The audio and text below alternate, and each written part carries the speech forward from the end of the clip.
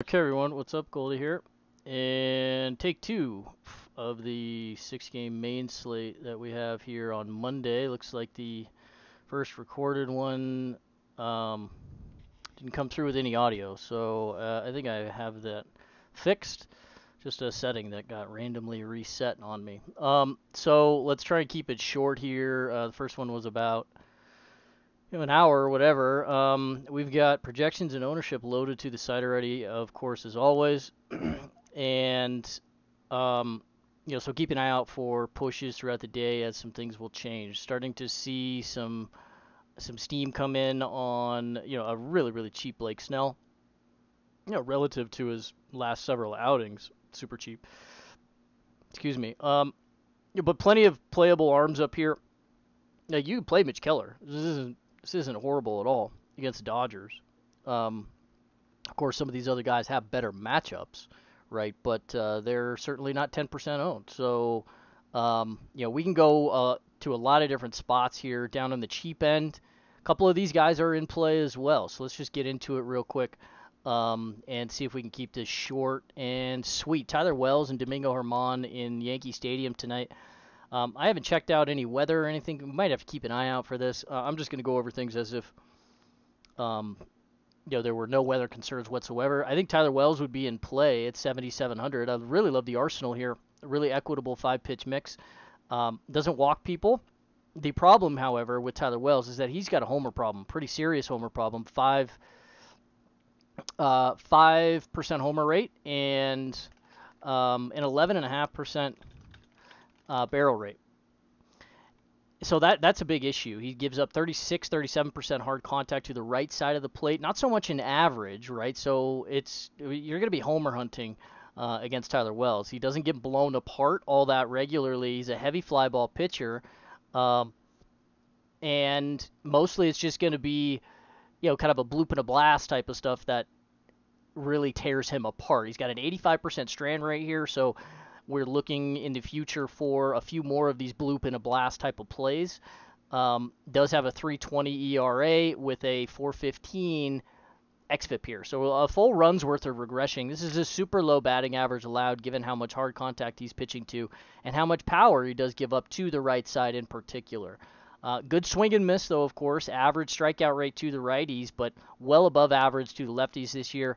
That's about six, seven ticks above average to left-handed hitters. So if you want to get good thing for the Yankees, they're mostly right-handed heavy. So that's why I think the Yankees are also in play. It would probably be mostly short stacks, but this is a six-game slate. You can pretty much play whoever you want here. Um, and you can you can stack literally every single team, and you could play pretty much every single pitcher. Um, you know there are arguments to play absolutely everybody in one respect or another here tonight. And the Yankees certainly qualify. Price adjusted, they're very cheap. 49 for Gleyber's, not so much cheap. And 45 for Stanton is kind of an average price tag there for him, but everybody else is well under 4,000, including Anthony Rizzo. We always like him from the left side of the plate against a righty at Yankee Stadium, despite the very high strikeout rate for Tyler Wells and the lower power number uh, 159 ISO to the lefties. Nobody's going to really hit for average all that regularly, as we mentioned. So um, it's mostly fly ballers and or line drivers, right? And, and guys with some pop from the left, excuse me, from the right side. But you can always play Rizzo.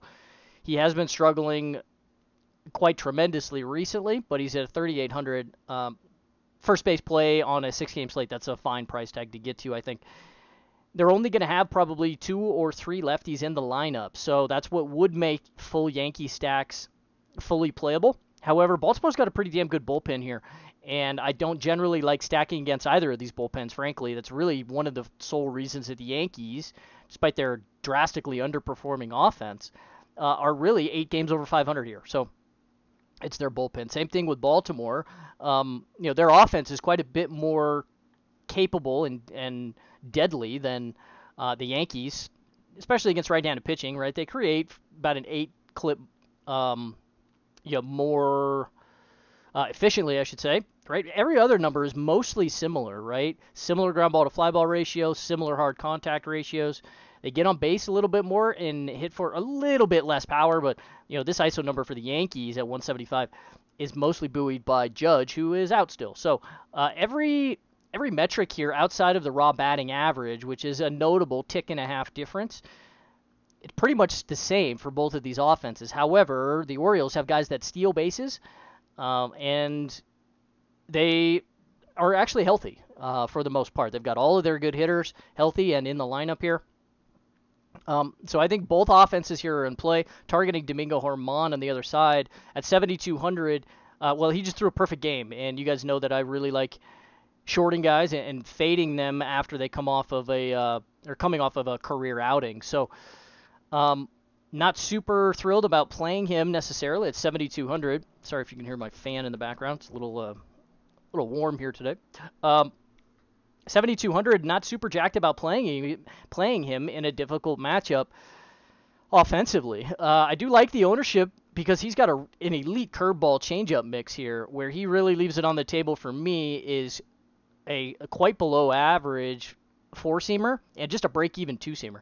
So he mains this curveball and tries to. I mean, this is 60% of the arsenal here with the curveball change. So um, he does give up a little bit of pop also and some fly balls. That's his four seamer sort of breaking pitch kind of kind of lean that gives him the fly balls. Uh, and the hard contact is there for Germán as well. If we're targeting an offense, price adjusted, it's got to be the Yankees, of course, against Tyler Wells. But full stack wise, I think we have to target the Orioles. They're just more potent top to bottom than the Yankees, and I think this is a better spot top to bottom for them. Domingo Germán still with a 190x ISO 223 ISO allowed to the righties with a 186 ISO allowed to the lefties. Hard contact, as I mentioned, with some fly balls. So both arms playable due to their price tags in this particular matchup because both of these offenses overall are just kind of break even. However, both offenses certainly very much in play due to the short slate um, and the fundamental spots. These guys give up homers and they give up fly balls. This is at Yankee Stadium. So I think we can get to some offense here um, as kind of a, a little bit of a down the board stack, uh, really on both sides for Baltimore and the Yankees. Let's move on to Atlanta and Cleveland. Uh, Bryce Elder on the mound. Unfortunately, he's down at 8,100 now, and um, you know we didn't really get the opportunity to short him up when you know when he was well above 10,000 or anything like that. Um, but he did have a couple of stinkers. We've been talking. I mean, I've been fading the guy for you know going well on a month now hasn't really worked out because he's had some really damn good matchups for the most part. This is another really good matchup, at least suppression wise, uh, for him against the Guardians. However, I've still got question marks. He's got an 85% strand rate. This number is too high. It's not sustainable. We've talked about this several several times uh, over the last few weeks. Um, now over these large samples, yeah, it's sustainable over 100 innings or whatever but 200 and 500 and 600, you know, a full career, this number is not sustainable. So we're going to see this tick down. It could be slowly. And in most scenarios, it's likely to be slowly with Bryce Elder because he does still have ground ball equity here, in particular against the right side. Now, over the last month or so, this was hovering at about four and even north of four ground balls per fly ball. This is ticking down quite precipitously. It's all the way down to three and a half now. Now that's still a, you know, astronomically high number, right? Top 1% in ground ball rate in all of baseball. But it's it's downtrending and we've talked about that. So how that's how this is likely to, you know, the regression is likely to set in. He has a, an ERA of two and a half with an xFIP a run and a half higher than that. So with the very high strand rate and batted ball metrics with hard contact here, still at 37%, suggesting that we could see more regression come to him. Um, you know, certainly in the batting average, he's running hot about a tick, tick and a half. You got a 246 xBA with an average, you know, batting average allowed uh, of 227 here. So running a little hot there. Same thing in the WOBA department, a little bit closer. Um, and same thing in the ISO. So overall, he's he's very serviceable because he's got good ground ball stuff. But in this particular matchup, he's going to be a little bit more susceptible. This is far more this line against left-handed hitters is far more closer, or far closer, I should say, to um, you know a league average traditional platoon split in that he's got you know a buck 30 ground ball to fly ball, 20% line drive rate. The the issue here against lefties in particular is that the strikeout rate is sub 20%. The soft contact is 13% with 34% hard. So he's giving up medium plus and hard contact here still to the left side with a 150 ISO. This is not a horribly elevated figure or anything, but it is definitely attackable. Um, with Cleveland in particular, a couple of these guys, they're still going to hit a lot of ground balls. Let's not get it confused, right? This is still Cleveland. They have a 123 aggregate ISO because they have two guys, basically, that can hit the baseball out of the ballpark. 25% hard contact rate. They're not going to strike out, however, and I think that depresses the upside for Bryce Elder in this particular matchup a little bit more uh, for suppression and to run deeper into a game. Excuse me.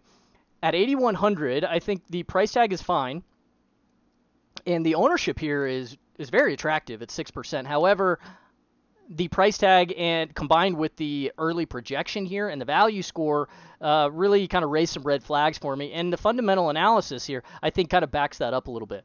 Um, now he's not going to walk people, and he's going to stay off of the barrel. However, I mean these are technical barrels, but you know.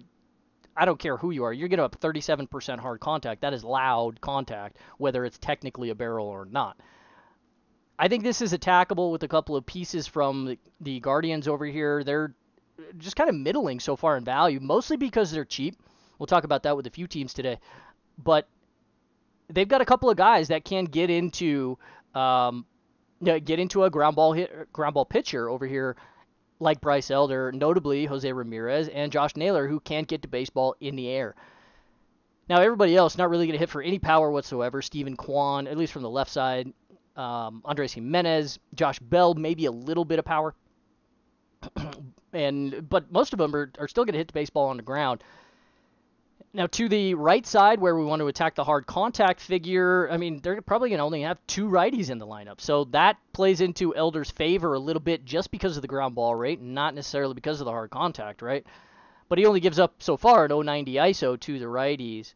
Um, I just have upside concerns for him at the price tag, I think there is upside for suppression to run seven innings and not give up anything or give up one maybe, and that could still serve as a uh, an equitable outing for him tonight. And this is only a six-game slate. You could, as I mentioned earlier, you can play whoever the hell you want. He's certainly in play in a down strikeout matchup, but a plus suppression matchup because Cleveland is bad overall. Um, Gavin Williams on the mound for the Guardians, 6,300. I'm he's probably one of the few guys I'm going to leave on the shelf today. I don't like the projection, of course. He gets Atlanta over here. This this offense is impossible to go after right now. Uh, you could be one of the better arms in baseball, like a Joe Ryan, for example, who we'll talk about in the next game, and and still give up six runs in three innings. It's every damn one of these guys that's hitting the baseball over the wall now. Um, and they've been doing it for a month, going on a month and a half here. They're all mega expensive, which is going to keep their aggregate ownership down.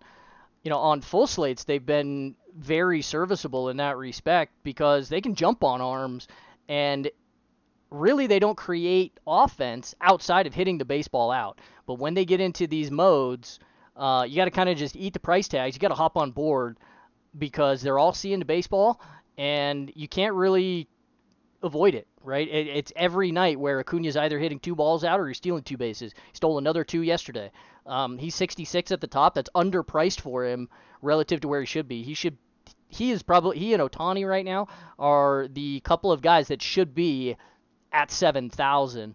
Um, you know, but I digress. The Ozzie Albies 59, Austin Riley's 58 now, Matt Olson 64, Sean Murphy 54 the guys down at the bottom half, Ozuna, Rosario, Arcias, who is an all star somehow, uh, Michael Harris as well, they are all you know 4000 mid 4000s just about so they don't make it all that much cheaper for you which is going to keep the ownership down for Atlanta. But this is a super young arm even though Gavin Williams has a really good outing against Kansas City like the Braves are not Kansas City right and this is still a very young arm I do like the early uh, distribution in the usage here with the four seamer slider curveball change.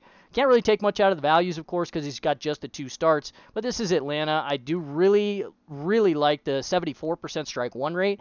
If he's going to survive, that's how he's going to be able to do it. He has to get ahead of hitters. We'll go on a little bit of a rant about strike one and getting ahead of hitters here in a couple of games. Um, good chase so far and a fine CSW. However, you know, this is a, a real young arm and one of the best offenses in baseball. Um, you know, I still keep them up there with the Dodgers and Tampa, but it's really hard to argue that they're not the most potent. They can beat any arm in baseball, and Gavin Williams certainly qualifies as any arm in baseball. So if you want to go after Atlanta, I mean, I really don't. But like I said, it, he's cheap, and he is one of the guys here in the 6K range that can make other expensive stacks for you uh, and contrarian builds happen. Uh, so for the most part, I'm just going to leave him on the shelf. I thought it was a good matchup against Kansas City. We talked about that a little bit about going right back to him, but he's more expensive now, and the matchup is far, far worse. So no thanks. Uh, I'm just going to stay off of this and get to probably mostly offense in this game. I'll have some Elder because I do like the ownership. Getting a little bit of leverage on him is not too difficult to do, but this is a terrible strikeout matchup, and like I said, I do have questions about upside. Okay, here are the Kansas City Royals. Austin Cox going on the mound for them against the Twins. 5,000. I mean, Cox, I, we talked about him in his last start. Um, he did get Cleveland, as a matter of fact, and he got picked apart a little bit, gave up four runs in like three and two thirds. But he walked four batters, so he didn't really do himself any favors.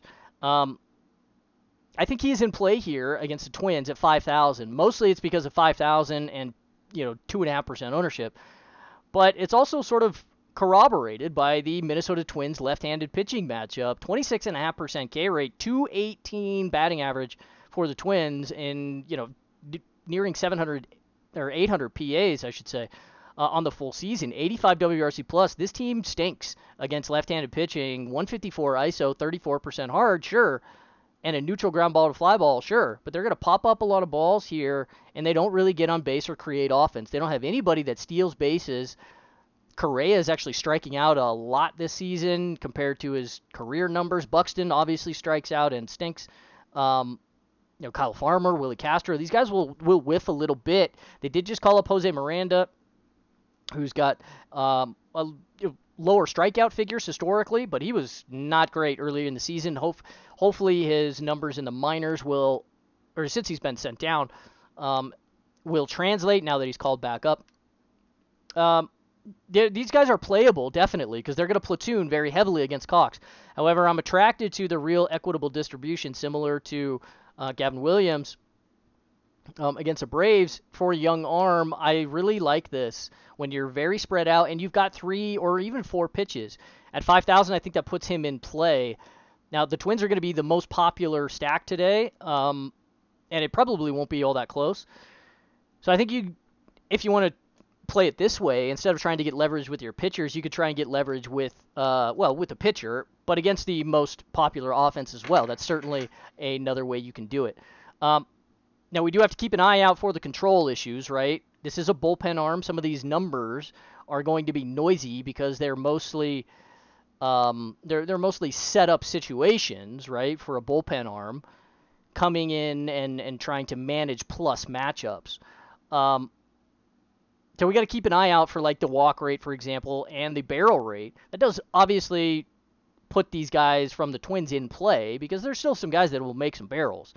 Uh, Carlos Correa, Byron Buxton, notably, right? Kyle Farmer, he can barrel baseball a little bit. He's 2,400 dual eligibility in the middle of the lineup, right? Several of these guys are mega cheap, so it's a combination of a decent fundamental spot and the price tags for the Twins here that's really popping their ownership. But I think that Austin Cox has to be in play. If you want a full stack Atlanta and get to each each one of the top five guys all in the same lineup, you have to play somebody down here. You have to punt both of your starting pitchers and your secondary stack as well in order to make that happen. So Austin Cox, I think that has to put him in play in a build like that, and it's completely off the board, and nobody is going to have that we do have depth concerns, of course, and you know run suppression concerns because they're going to platoon heavily.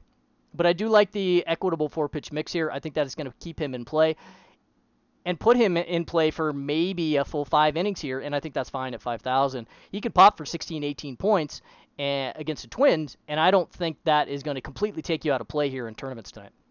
Joe Ryan on the mound for the Twins, 10,000 for him um, yeah, like sign me up. I don't really care that he gave up six runs in the last start against Atlanta. That's Atlanta. 30% ownership. I actually am fine with this. I think he's probably underowned relative to the upside that he offers in this particular matchup, and I think he's kind of underpriced. In the last several starts for him, we've seen him well above 10,000, and the matchup hasn't been near as good. Yeah, he got picked apart really good by Detroit, gave up six earned in seven innings. Um, but still struck out seven, right? Struck out nine in that complete game shutout against Boston. That was really his best outing over the last, you know, two months or so.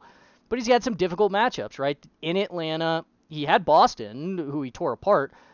Had Detroit. Okay, yeah, he just didn't have his stuff that day. But then he had Toronto, he had Cleveland, he had Houston, right? He had the Angels. Not the most excellent slate here for Joe Ryan to uh, really navigate. Kind of a gauntlet.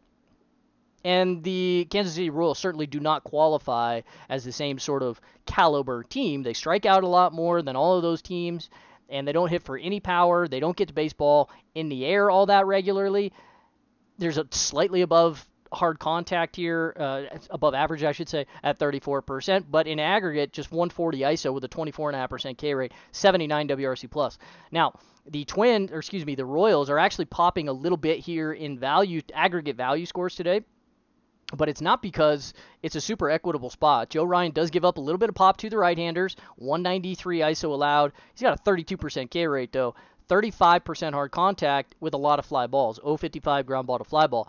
That's how he's attackable. It's mostly because he's only got two pitches here. He's got a bad slider.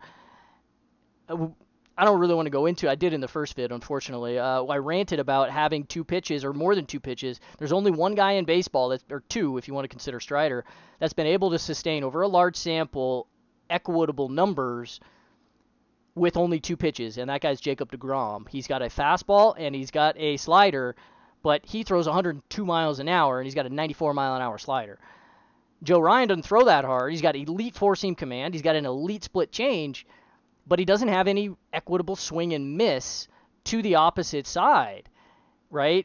If this elite split change is so damn good, where's the swing and miss to the left-handers, right? And where's the slider value, right? If he's one of the most elite pitchers in baseball, I don't want, like I said, don't want to go too deeply into it, trying to keep this short-ish, uh, but this slider is bad. You cannot give up five outs to the field on a 13% usage pitch here and expect to not get picked apart every so often. And that's really what's been happening. Good team or bad team, Detroit is who I'm thinking of at the moment. Um, they will pick you apart if they only have to zero in on two pitches. Same thing with Strider. We've seen that a couple of times this year. You are susceptible if you only have a fastball and one secondary pitch. So that's the one wart for Joe Ryan, but I don't particularly care. His four seamer and splitter are good enough still to pick through the Royals at, like I said, what I think is an underpriced 10,000 and an under-owned 32% ownership here relative to everybody else on the slate. Uh, I think he's far and away the best arm, um, considering fundamental spot and fundamentals for him as well. And I think the, the price tag and the ownership are both playable figures also. So I think everybody is pretty much in play here uh, outside of mostly the Royals, I don't really want anything to do with this. I might have a hedge piece here or there, like a Bobby Witt, Salvy Perez, but the guys in that are popping the most in value score are not those two guys, right? It's all of the cheap guys. So you often see that with their projection relative to their price tag, they pop in value, but it's just because they're cheap. It's not necessarily because they're popping at a super super um, you know equitable fundamental spot because this is admittedly a, a, pretty bad spot. He does give up fly balls and will get on a line occasionally, so a couple of these righties, maybe a cheap Maikel Garcia, could keep him in play, Eddie Olivares or something like that. If you want to full stack him, go ahead. You're going to get leverage. But not my favorite personally here tonight. I'm just going to stick with uh, the Twins. Mostly pitching here in this game, I think, for me. I'll have Twins, of course, because you could very easily get blown out. Uh, because the Royals are a bad baseball team over here, man. They're what 34 games under 500, not even at the break yet. Are you kidding me? Um, Okay, let's move on. But that's kind of where I stand so far on the uh, Royals and the Twins. Angels, Padres, Jaime Barria on the mound. He got picked apart a little bit in his last start by the White Sox, uh, which is kind of surprising because the White Sox are garbage. Um, but Jaime Barria is just an average arm for the most part. He's also similar to Austin Cox in that most of his outings have come from the bullpen this year. He's got a 12 full appearances does have five starts, but he's been pretty limited in those starts. Right, four innings. He went three in his last because he gave up six earned runs or five earned or whatever the hell it was um, against White Sox. For the most part, just a, a pretty average arm. Um, he does have a little bit of upside at this particular price tag. We talked about this in his last start. Even at 6,800, where he was against Chicago, he was in play relative to everybody else. Same sort of deal here today at 5500 if you want to get to the more expensive stacks you have to you have to make one of these decisions. You just can't make it happen otherwise.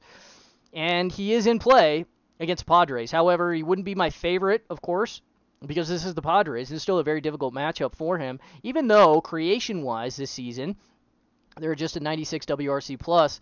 They have an 11.5% walk rate with a 23% K rate.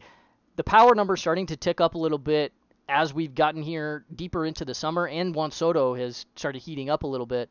Um, this is still a very hard team to get through, even though they don't hit for a lot of batting average. They walk, low batting average, but they will hit for some power.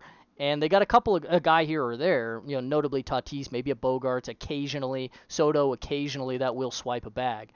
Um, difficult matchup for Jaime Barria here. He is in play if you want to play a bounce and expect him to go maybe four or five innings and, and not get totally blown apart.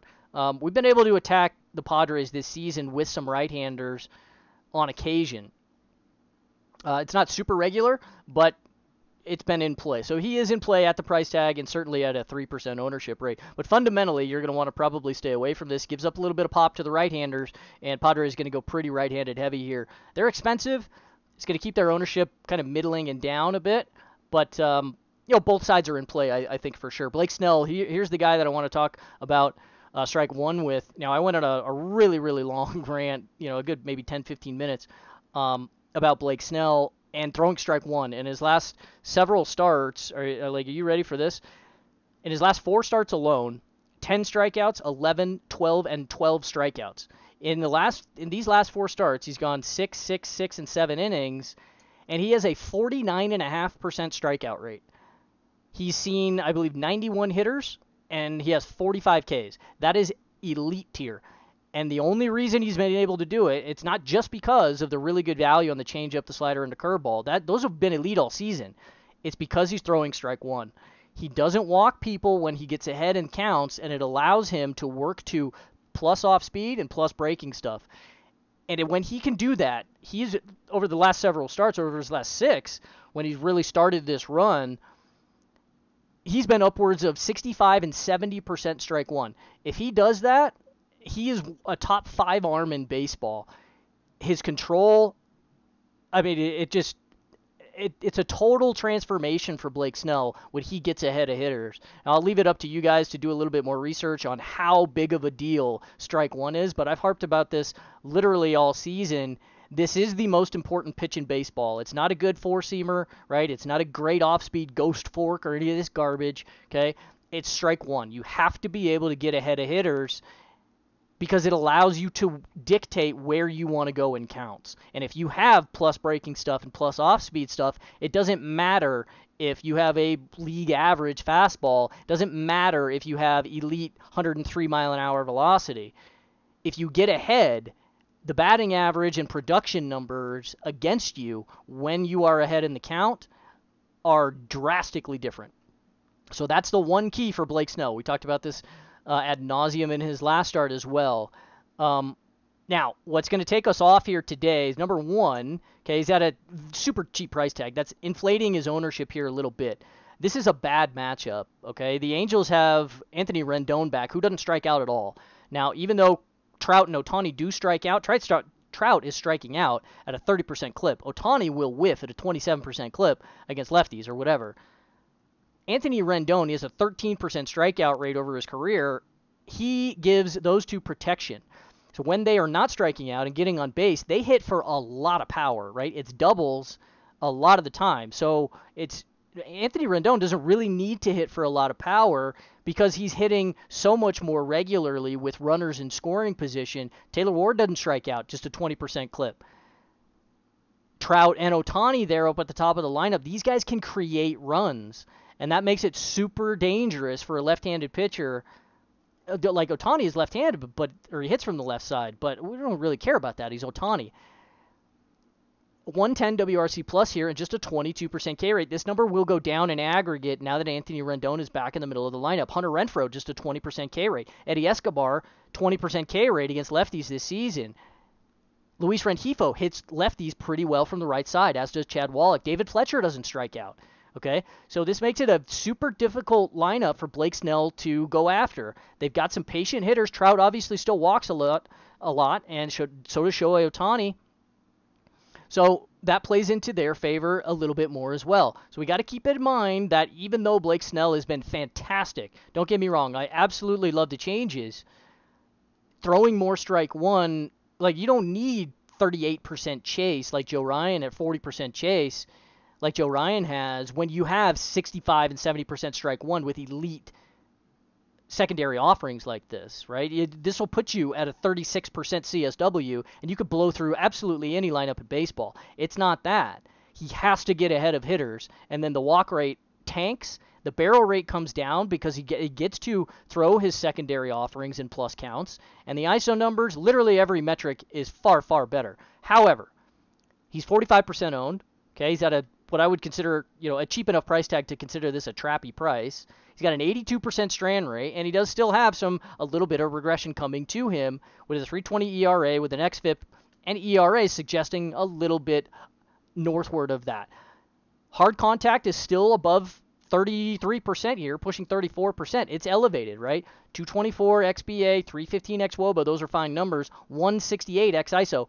That's attackable a little bit with a very good offense over here and one that doesn't strike out nearly as much as you would think.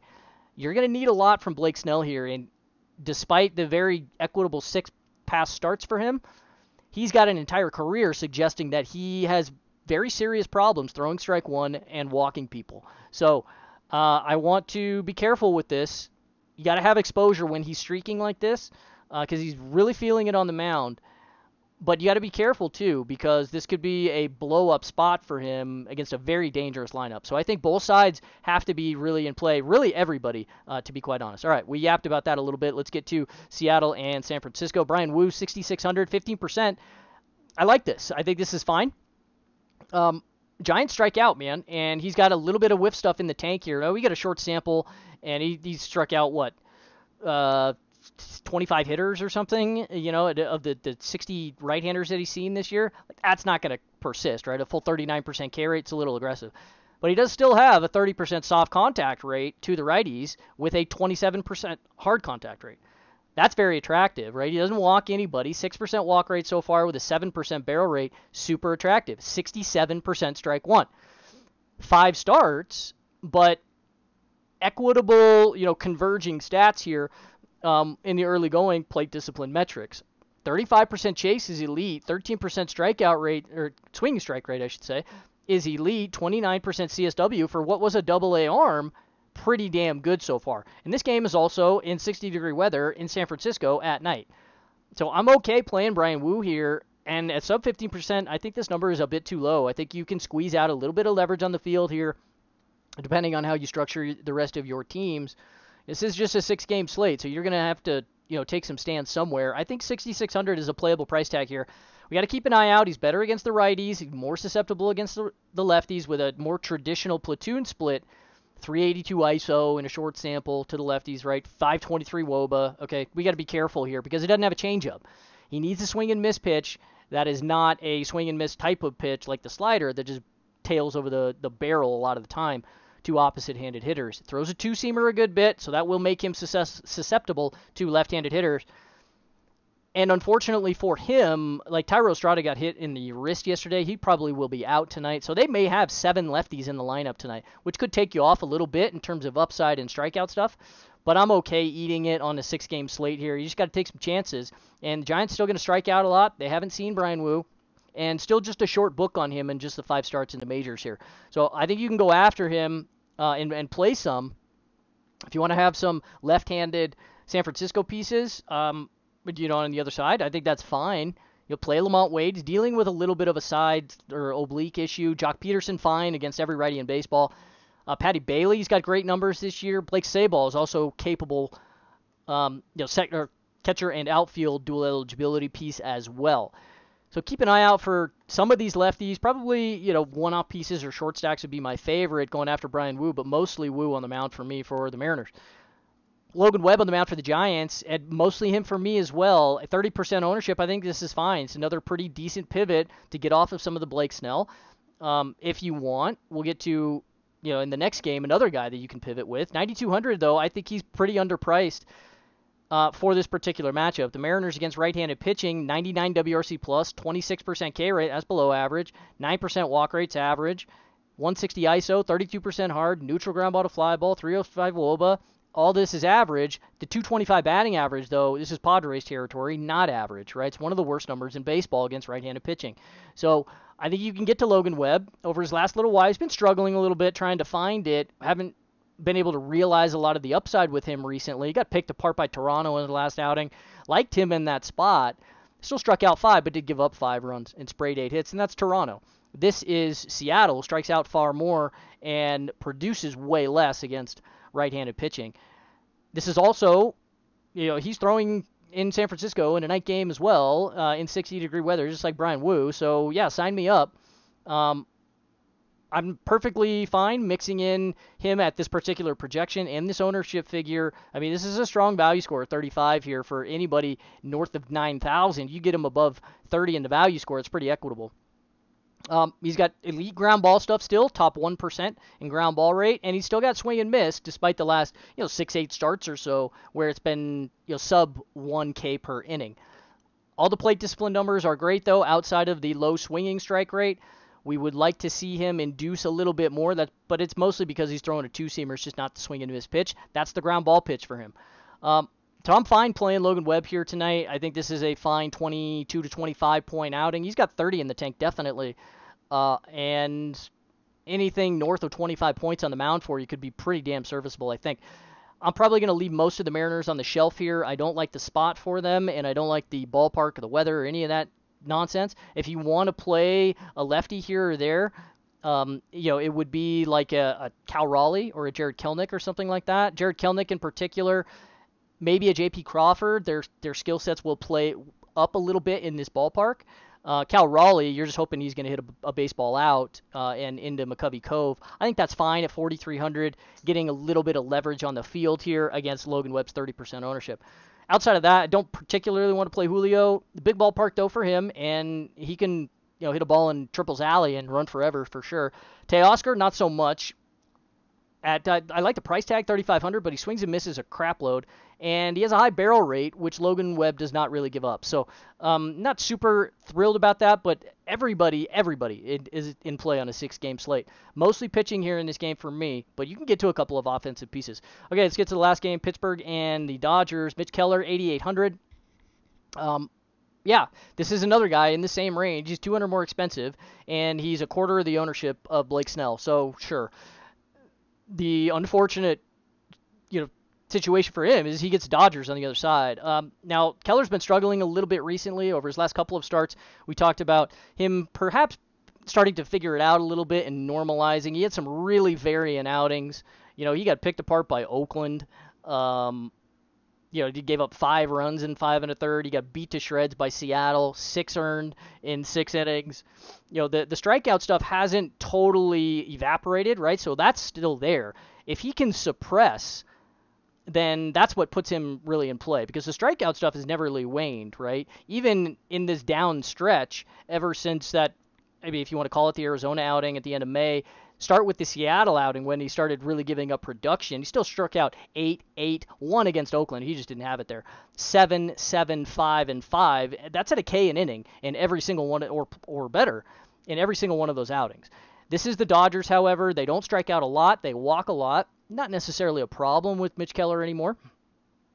But it's the control um, that the Dodgers exhibit at the plate. They do not beat themselves. This is a super, super dangerous lineup it it's because of the walk rate, right? They're very very patient. They make you throw strikes and they make you throw it over the plate. What would take me off Mitch Keller here as a really nice pivot. Of course, I love the ownership pivot, right? I think the projection is fine here. Value score is still fine for somebody at this mid 8K range on a six game slate. What would take me off is that the secondary arsenal is not great. Doesn't have a changeup, and you're going to need a changeup when you go after the Dodgers because they will platoon heavily against you, and they're all pretty damn good left-handed hitters. Certainly Freddie Freeman, Max Muncy maybe not so much, um, and not anymore. He's hitting sub 200 with a 35 or 40 percent strikeout rate, whatever it is. But even still, you need a, an off-speed pitch in order to keep these guys off of balance. Max Muncy's still going to walk 15% clip, right? He's still very patient, even though he kind of stinks. Um, it's the slider and the curveball. It's really leaving it on the table for me. He needs a little bit more swing and miss. He's only got a 9% swinging strike rate, similar to Logan Webb. Like he gets ground balls, right? Buck 50 ground ball to fly ball. Doesn't give up a lot of hard contact. So he suppresses well in that respect but I need some more called stri- or swinging strikes out of him in order to get super excited about playing him in a really, really down matchup against the Dodgers here. So I think you have to just side with the Dodgers because it's the Dodgers, but they're expensive, and this is a down matchup relative to the rest of the league. Mitch Keller is still an above average arm. Uh, this kind of reminds me of the spot for like Pablo Lopez earlier in the year when um, you know I kind of touted that Pablo Lopez was a, a decent play against the Dodgers I think it's a kind of similar spot for Mitch Keller, even though the Arsenals are different, yada, you know, whatever. I think it's a, excuse me, a, similar um, type of spot in that, you know, he's still a good arm, and he still has good swing and miss in aggregate, but it's a very dangerous matchup. And if he doesn't have his elite stuff here, this is one of the few teams that you cannot make mistakes against uh, because they will make you pay. So, um, i am going to have some Mitch Keller for sure because I love the changes that he's made this season. The cutter and the and the two seamer are just absolutely fantastic. But I need more out of the off speed and the breaking stuff to get super thrilled about playing him in really down matchups against best teams in baseball. Uh, on on the other side for the Dodgers, Michael Grove here, 5,300. The price tag puts him in play.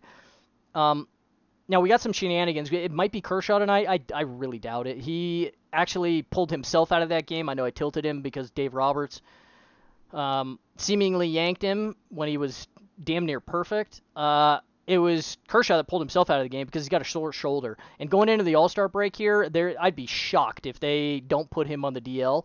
Um, so for by most accounts across the industry, nearly everybody's got Michael Grove projected, uh, outside of you know just a couple of spots here or there.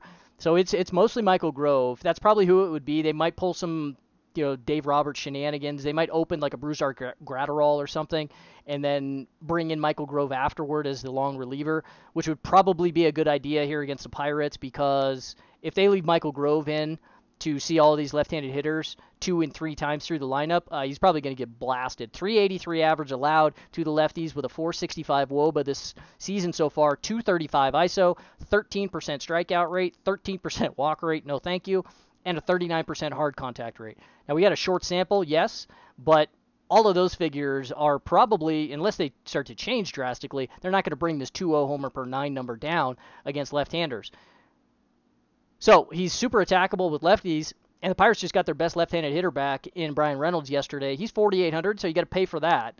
But Suwinski and Carlos Santana, Tuki Marcano are cheap from the left side of the plate. You can play a couple of these righties as well because it's not like Michael Grove hasn't given it up there.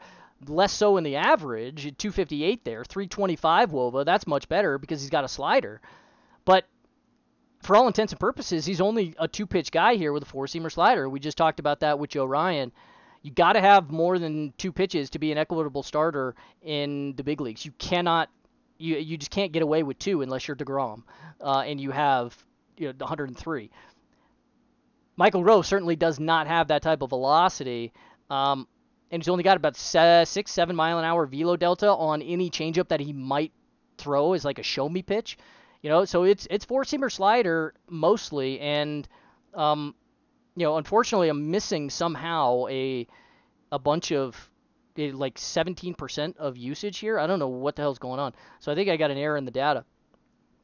Um, so I'll have to keep an eye out for that. But no matter what the the third pitch is here, you know, he's still only got a 10% swing strike rate. He's not inducing swing and miss. And I think that's what you're going to need against Pirates here because they only strike out at an average 22.5% clip. They don't create a lot, but as I mentioned, they did just get their best left-handed hitter back in Bryan Reynolds. So they're a little sneaky dangerous, even though their numbers in aggregate are just average. It would put Michael Grove in play at 5,300 against an average offense.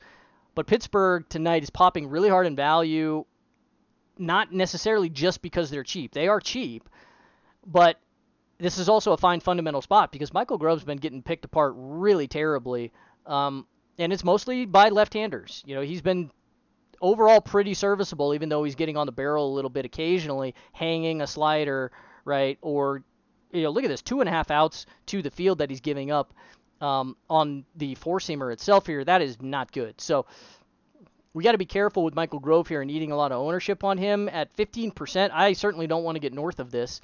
Uh, I'd much rather pivot it to, I mean, shit, I don't know, like uh, an Alex or an Austin Cox or even an Jaime Barria, for example. Um, you know, in bad matchups themselves, but I don't know. I kind of like the Pirates here a little bit. Fundamentally, going after Michael Grove. If they do open a Brusdar Graterol, that takes me off of the Pirates significantly, and I think Michael Grove could then be in play because that would reduce his ownership.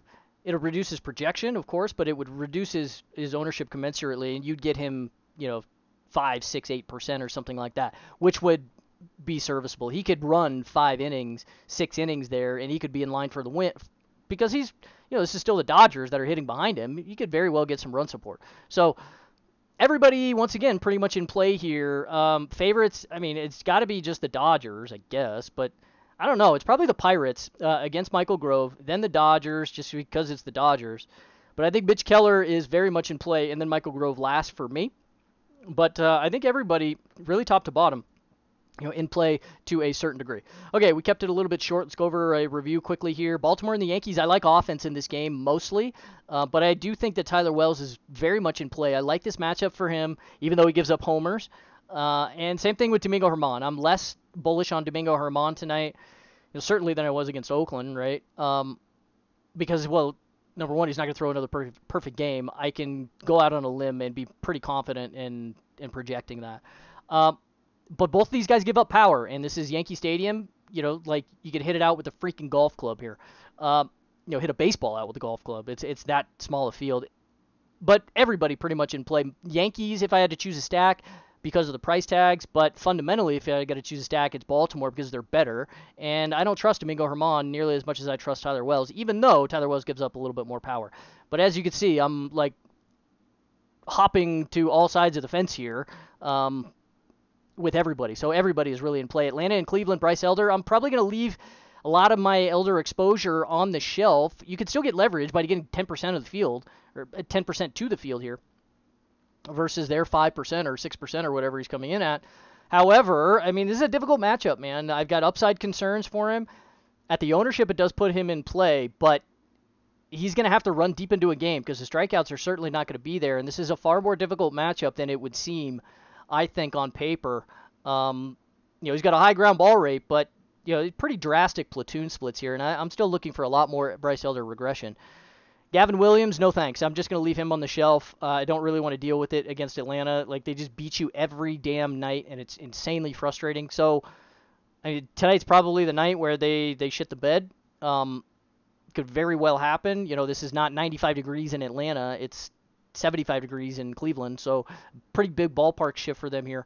Um, does that really put Gavin Williams in play? I mean, I, I guess 6,300, he's got to be in play. But like, this is a majorly dangerous spot here. You can actually make top five stacks of all the Atlanta Braves happen if you punt everybody else. So it's it's a viable construction if you can make it work. Um, Kansas City and Minnesota here. Austin Cox, I think, is in play at 5,000. Joe Ryan, absolutely in play. Minnesota, for sure. You can go after Austin Cox. He's probably only going to get going to get about three innings here. And we saw Cleveland even hung four on him uh, in his last outing. He did walk four batters there, though, so that's probably unlikely to persist against Minnesota. They're not a very patient team. They strike out a shitload.